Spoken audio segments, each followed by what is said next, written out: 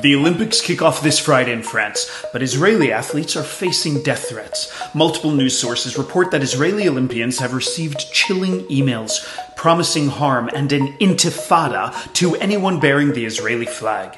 These threats evoke the shadow of the Munich Olympics of 1972, where Palestinian terrorists massacred 11 Israeli athletes, a dark and tragic time in Jewish history and Olympic history. So let's be clear. Intifada means a violent uprising against Jews worldwide. What's even more alarming, Adidas initially chose Bella Hadid, a vicious Palestinian anti Semite known for anti Jewish rhetoric, to front a campaign honoring the Munich Olympics, despite later revising their stance.